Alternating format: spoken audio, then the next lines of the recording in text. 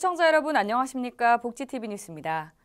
장애인들의 진짜 자립을 위한 일명 탈시설 지원법이 국회에 발의됐습니다. 보호라는 명분 아래 묵인돼 왔던 시설한 장애인의 삶을 인권과 권리를 바탕에 둔 지역사회 삶으로 바꿔가기 위한 근거가 마련될 전망입니다. 보도에 서정용 기자입니다. 장애인들은 탈시설 지원법 발의를 환영하고 법이 제정될 때까지 함께 하기로 다짐했습니다.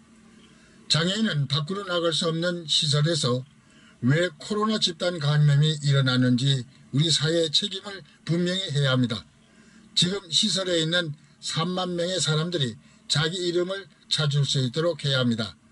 더 이상 새로운 시설은 짓지 말고 지역사회에서 함께 살아갈 수 있도록 제도를 바꿔야 한다고 주장했습니다. 노들 장애인 자립생활센터 추경진 활동가는 시설에서 15년 동안 살면서 시설에는 인간에 대한 존엄이 존재하지 않아 장애인 탈시설 지원법이 제정되어 단 하루라도 장애인이 살지 않는 세상이 왔으면 한다고 호소했습니다. 박경석 상임 공동대표는 세계 인권인 날인 오늘 이렇게 기쁜 날 탈시설 지원법이 발의됐다. 국회가 언제나 부정했던 탈시설이라는 단어가 드디어 공식적으로 법안에 명시된 것이다. 너무 기뻐서 눈물이 날 것 같다고 환호했습니다. 내년 4월 달까지 좀 출생을 시키는 투쟁을 우리 같이 좀 제안을 드리고 싶습니다. 내년도 4월 20일 장애인 체육집회 날에는 오늘 이 자리에서는 코로나가 다 끝나고 그리고 우리가 함께 모을 수 있는 모든 장애인 동지들 대표소 5천 명만 여기 와서 이 장애인 탈시설 지원법이 한자도 틀리지 않고 통과되는 그런 기쁨의 계획을 이 자리에서 함께 투쟁으로 선포했으면 좋겠습니다. 투쟁! 이번에 국회에 발의된 장애인 탈시설 지원법에는 장애인이 시설에서 벗어나 지역사회에서 자립해 생활할 수 있도록 탈시설을 지원하고 시설 등을 단계적으로 축소, 폐쇄하며 인권 침해 시설을 조사해 제재하는 등 장애인의 인권을 증진하기 위한 내용이 담겨졌습니다. 복지TV 뉴스 서정영입니다. 추운 겨울이지만 우리 문화가 낯선 다문화 가정에 따뜻함을 전하는 손길이 있어 김민재 기자가 만나봤습니다. 최근 외국인을 포함한 귀하자, 이민자 2세 등 이주 배경 인구가 늘어나는 가운데 다문화 가정에 지속적인 관심과 애정을 건넨 주인공이 있습니다. 충남지방경찰청 외사자문협의회 김병길 회장은 10년 전부터 다문화 가정의 생활용품과 장학금 지원을 해오고 있습니다.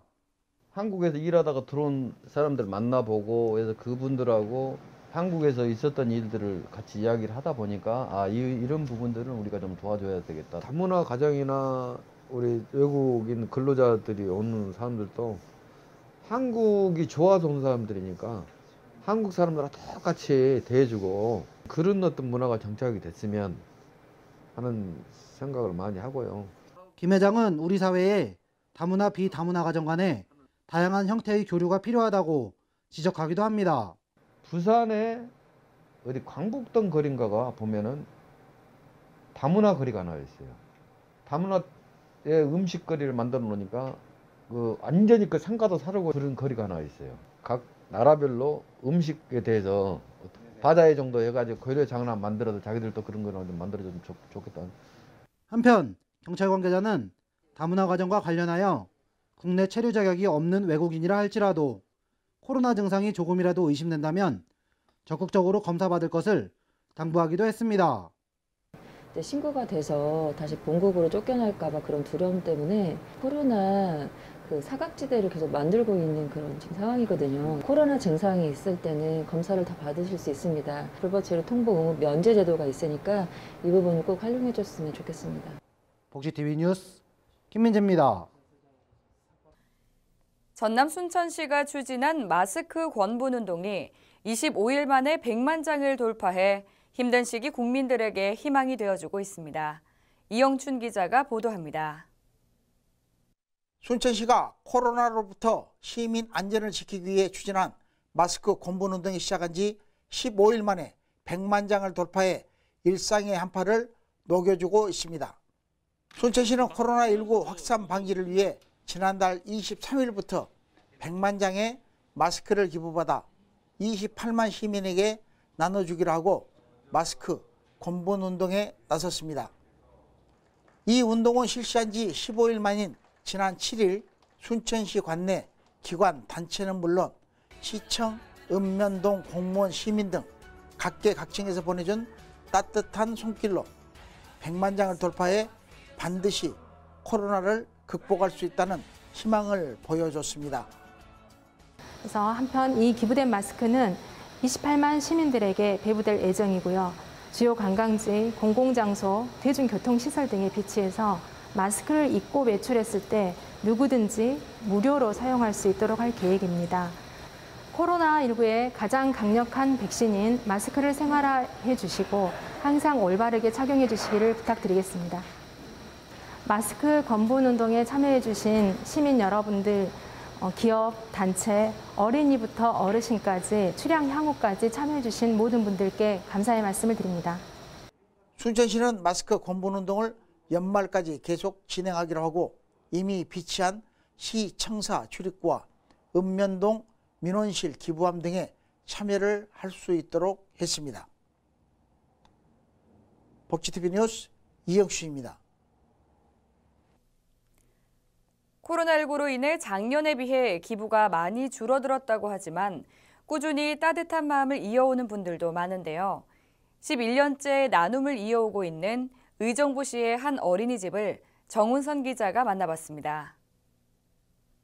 의정부시 뉴비사랑 어린이집 원아와 교사, 학부모가 함께 참여하는 나눔이 11년째 이어지고 있습니다.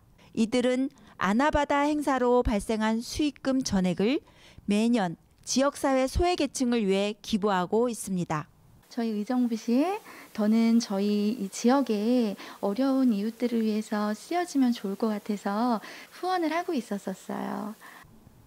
절약과 환경 보호에 크게 이바지하고 있는 아나바다 행사는 어린이집 원아들의 교육 과정의 하나로 시작했지만 지금은 지역 사회의 주요 행사로 성장하여 지역 주민들의 인식 개선에 변화를 주고 있습니다. 그러면 아나바다가 어, 기억이 참 많이 남아요. 그러니까 뭐 매년이 되겠지만 해주시면 감사하고 그럼 저희도 끝까지 항상 참여할 수 있고 혼자 기부하는 것보다 또 이런 행사에 같이 하면 저희가 좀더 어, 뜻깊게 생각을 더 많이 하는 것 같아요. 코로나19로 사회적 거리두기 때문에 취소될 뻔했던 올해는 온라인으로 개최하여 총 수익 150만 4,858원을 기부했습니다. 복지TV 경기방송 정은선입니다. 파주시의 작은 도서관들이 모여 노인들의 치매 인식 개선에 앞장섰습니다. 파주시 치매안심센터와 관내 7개 작은 도서관은 치매인식 개선 프로그램을 진행하여 지역 어르신들의 치매 예방과 기억력 증진에 도움을 주고 있다고 합니다. 저희 파주시에는 생활 속에서 작은 도서관들을 많이 만날 수가 있어요. 치매라는 것이 숨기고 감춰야 되는 게 아니라 다 같이 함께 고민하고 배려해야 된다는 것에 대한 인식 개선 사업을 실시하였던 것입니다. 책놀이 강사의 구연 동화를 들으며 서로의 생각을 나누고 그리기, 만들기와 같은 연계되는 활동으로 어르신들의 상상력에 즐거움을 더해주고 있습니다. 자상하시니까 더 이렇게 막 기가 나서 더 잘하는 것 같아요. 작가는 어려서 뭐 무지개를 봐가지고 좀 머릿속에서 좀 생각한 걸 지금 눌렀어요. 예. 누구나 쉽게 접할 수 있는 지역의 작은 도서관이 어르신들의 치매 인식 개선 활동에 앞장서 주민들이 서로 배려하며 더불어 살아가는 지역 문화를 만들어가고 있습니다. 복지TV 경기방송 정은선입니다. 아동 돌봄의 사각지대 해소를 위한 광양 아이 키움 센터 세 곳이 추가로 문을 열었습니다. 광양시가 지난 8일 맞벌이 가정 자녀의 돌봄 사각지대 해소를 위한 광양 아이키움 센터 3곳을 추가로 개소하고 본격적인 운영에 들어갔습니다. 아이키움 센터는 소득 수준에 관계없이 돌봄을 필요로 하는 초등학생이면 누구나 무료로 이용할 수 있습니다. 이번에 추가로 개소한 아이 키움 센터 가운데 두 곳은 여성가족부 공모사업에 선정돼 설치비를 지원받았고 한 곳은 보건복지부에서 지원받았으며 현재 광양 아이 키움 센터는 모두 7곳이 운영 중에 있습니다. 지난달 26일 한 대학생이 청와대 국민청원에 장애인을 위한 방송을 같은 번호로 보고 싶습니다라는 글을 올려 화제가 됐는데요. 장애인과 노인, 소외계층을 위한 복지TV 채널 번호가 지역마다 달라 찾아보기 힘들다며 단일 번호로 통일해 모두의 시청권을 보장해달라는 청원이었습니다. 전국 각지에서 이에 대한 캠페인이 이어졌는데요. 화면으로 만나보겠습니다. 단일화 방송을 좀 하나 만들어 주시고 요번에 또 그 복지 TV에서 이 청와대 민원까지 이었다니까는 우리 장애인들은 정말로 너무 환영하고 열심히 동참하고 있습니다. 꼭 이번 기회에 단일 방송이 될 수 있게 부탁드리겠습니다. 정보와 사회 질을 위해서 꼭 필요한 채널이라고 삽니다. 이 캠페인을 모두 어, 참여해서 이번에 55 채널을 선택할 수 있는 기회를 놓치지 않기를 바라면서 저희 장애인 전체 이, 이 캠페인에 동참합니다. 장애인 당사자의 방송 접근권 향상을 위한 목소리가 국회 앞에 울려 퍼졌습니다. 지난 9일 복지TV 홍보대사인 가수 하동근은 국회 앞에서 복지TV 채널 55번 만들기 1인 캠페인에 나섰습니다. 이날 지난 8월 발매된 가수 나오나의 아홉 이야기 자켓 사진과 시각장애인 주인공의 세상을 향한 도전을 담은 영화 블랙을 모티브로 한 퍼포먼스가 펼쳐졌습니다. 가수 하동근은 한 손에 검은 우산과 리모컨을 들고 더 이상 어둠이 아닌 한 줄기 빛으로 다가서겠다는 뜻을 전달했습니다. 이를 통해 많은 국민들이 청원에 함께 동참해 줄 것을 독려했습니다. 1분이라는 시간만 어, 장애인분들을 위해서 투자를 해주신다면 앞으로 장애인분들이 정말 편리하고 쉽게 방송에 접근을 할 수 있는 거잖아요. 그렇기 때문에 많은 분들이 이 청원을 빨리 아셔가지고 동참을 해주셨으면 하는 마음입니다. 복지TV 뉴스 박성용입니다.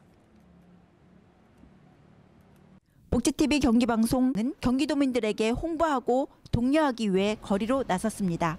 의정부 지역과 양주 지역 거리에 배너를 설치하고 홍보 안내문을 제작하여 배부하며 청원 홈페이지로 들어가 국민청원에 동의하는 방법까지 자세히 안내하여 청원 동의까지 이르게 하며 참여하는 도민 개개인에게는 장애인과 사회적 약자를 위한 아름다운 일에 함께하는 기회가 되도록 하였습니다.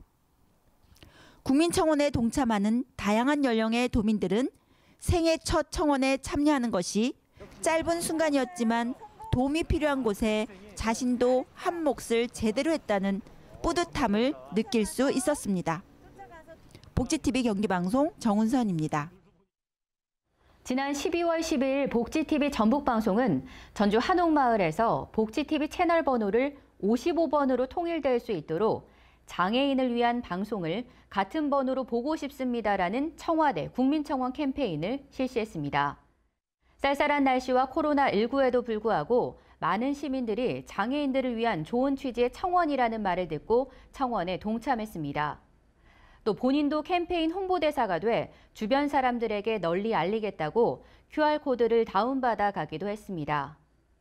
소설가 조정래, 가수 서른도, 탤런트 겸 가수 이동준, 코미디언 황기순, 방송인 조영구, 미스터트롯 출신 가수 하동근, 이일민, 프로골퍼 박소연 등 유명 인사들도 적극적으로 동참하고 있어 화제입니다.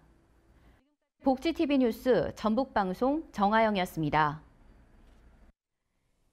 지역의 문화가 소식 전해드립니다. 사랑의 메시지라는 꽃말을 가진 아이리스를 화폭에 담은 곽인화 작가의 개인전이 여수에서 열렸습니다. 우아하고 사랑스러운 작품들을 이소영 기자가 소개합니다. 여수 달빛 갤러리에서는 지난 11일부터 여수를 기반으로 왕성한 작품 활동을 하고 있는 곽인화 작가의 초대전이 열리고 있습니다. 아이리스 존재의 이유를 주제로 열린 이번 전시회는 사랑의 메시지라는 꽃말인 아이리스가 좋아 꽃의 일기를 매일매일 화폭에 담았다는 감성의 작품 총 34점이 오는 29일까지 선을 보입니다. 바람과 햇살이 좋아서 비가 와서 우울해서 꽃잎 속에 주름진 모습이 삶의 한 페이지 같아서 한껏 가슴에 품고 춤을 추는 댄서 같은 마음으로 캔버스에 담아낸 꽃밭은 우아하고 사랑스러워 발길을 멈추게 합니다. 어, 저희 전시 작품의 주제가 이번에는 아이리스 존재의 이유입니다. 이 아이리스 존재라는 자체는 저희들이 사람의 모습이 다르듯이 아이리스 꽃 잎 자체가 어, 화려하고 굴곡지고 아니면 때론 펴 있고 우리 인간의 모습하고 너무 닮았습니다. 그래서 저는 이 아이리스를 그리면서 매일매일 다른 감정 또한 표현했습니다. 그때그때 표현을 달리 해야 했기 때문에 아마 여기 작품 보러 오시는 관람객들은 그때 그때 다른 아이리스의 모습을 볼 수 있을 겁니다. 또 이번 전시회를 준비하는 동안 갑작스러운 엄마와의 이별로 꽃소풍을 보내드리고 싶은 마음에 그리움과 따뜻한 어머니의 정을 화폭 속에 새겼습니다. 개인전과 단체전 100여 회로 지역 화단에서 원숙한 경지를 인정받고 있는 한국미술협회 회원인 곽인화 작가는 한국담장벽화, 여수건축위원회 심사위원 등으로 활동하고 있습니다. 자연 속의 고운 빛깔로 탄생한 작품들은 몽환적이면서도 편안한 감성으로 관람객들을 초대해 잔잔한 감동을 주고 있습니다. 복지TV 뉴스 이소영입니다. 이어서 오늘도 한마디입니다. 오늘도 한마디 정경수입니다. 장애인을 위한 방송을 같은 번호로 보고 싶습니다. 장애인을 위한 방송을 같은 번호로 보고 싶습니다. 이 말은 복지TV를 보려니 가는 곳마다 일정하지 않은 채널로 접근이 어려움을 지적하고 단일번호 채널로 볼 수 있도록 해달라는 글이 국민청원 게시판에 올라왔던 것입니다. 복지TV는 100%의 자막과 수어를 제공하고 직접 배우고 익혀야 할 각종 정보와 교육 등이 방송되고 있는데 정작 장애인들이 찾아보기 어렵다는 것이 문제가 되고 있습니다. 그동안 복지TV는 방송통신위원회가 선정을 한 장애인 복지 전문 채널로서 역할을 다해왔으나 고정 채널을 받지 못한 점이 한 대학생에 의해 장애인을 위한 방송을 같은 번호로 보고 싶다는 국민청원을 제기하는 이유가 됐습니다. 우리나라는 케이블 방송 구성이 종합 유선 방송 사업자와 IPTV, 스카이라이프 등에서 사업성을 고려해 각자 구미에 맞게 채널 번호를 배정하면서 고정 채널의 길이 막힌 것입니다. 이제는 260만 명의 장애인을 위해서도 55번 고정 채널을 배정하면 답답한 장애인들의 마음을 열어줄 것입니다. 국민청원의 장애인 고정 채널 청원이 본물처럼 올라와 복지TV를 55번 고정 채널로 보게 되면 장애인들에게 새로운 선물이 될 것입니다. 그 꿈이 실현될 때 복지TV가 장애인 복지 전문 채널로서 더 큰 역할을 하게 될 것이며 세계인의 복지TV가 될 것입니다. 힘을 모아주시기 바랍니다. 감사합니다. 춥고 건조한 겨울철이 되자 코로나19가 더욱 극성입니다. 첫눈이 온 이후 추위가 맹위를 떨치고 있는데요. 지금은 건강관리에 각별히 신경 쓰셔야겠습니다. 옷차림을 따뜻하게 하시고 코로나19가 대확산세를 유지하고 있는 만큼 특히 호흡기 관리 잘 하셔서 감기도 조심하시기 바랍니다. 이상 복지TV 뉴스를 마칩니다. 시청해주신 여러분 고맙습니다. 우리 주변에서 일어나는 불공정한 사례부터 억울한 사연, 따뜻한 미담까지 장애인 신문과 웰페어 뉴스 홈페이지를 통해 보다 다양한 소식을 접할 수 있습니다. 시청자 여러분의 제보를 기다립니다. 웰페어 뉴스 홈페이지 또는 전자우편, 전화번호 02-2655-9519로 많은 제보 바랍니다.